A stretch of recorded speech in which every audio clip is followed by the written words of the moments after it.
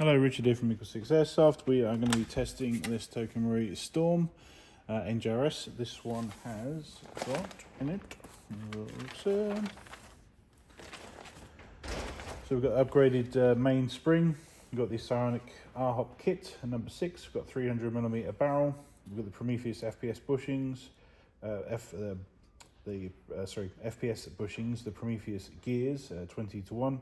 Got the Warhead black short high speed motor, the Eagle 6 upgraded recoil spring set, the FPS uh, SCAR uh, spring guide. We've got the FPS piston head, FPS AK carbon piston, the FPS uh, V3 cylinder head. Uh, it's TC03 we use for this one. We've got the FPS cylinder, the AK um, uh, nozzle and um, tappet plate. Um, so sorry, we left for the ordinary TM nozzle from compatibility and we fit the um, V3 tappet plate from Prometheus. Uh, we also combine that with a, a Kingdom of Airsoft 200% um, um, return tappet plate spring uh, because we were having some feeding issues, but uh, that uh, resolved that. And um, we have installed a Jeftron V3 uh, Leviathan and also the adjustable trigger um, so that it gives it the uh, sort of click uh, noise as you sort of um, uh, squeeze the trigger. We've got the um, Prometheus anti-reversal latch in there as well. So um, yeah, so fairly fairly well laid in uh, in terms of uh, uh, options.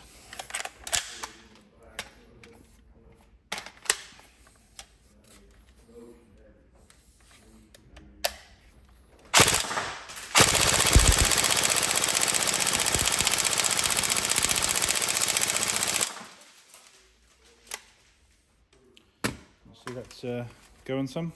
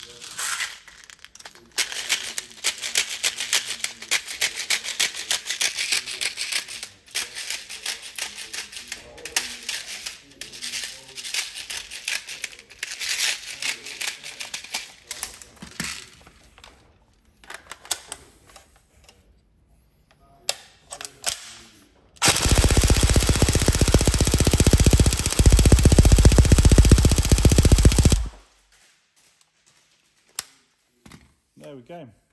All tested, ready to go to its new owner. And um, yeah, any problems, let us know. But we hope you have lots of fun. Thank you.